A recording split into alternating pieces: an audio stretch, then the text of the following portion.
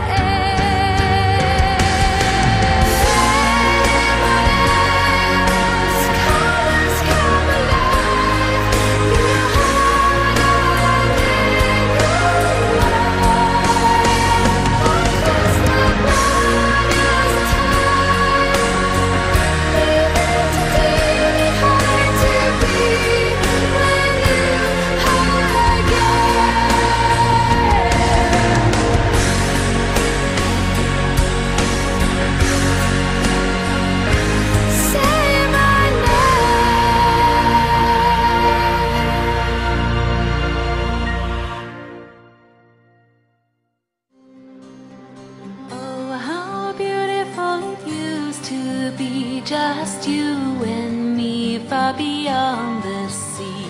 The water scarce in motion, quivering and still. At the end of the river, the sun.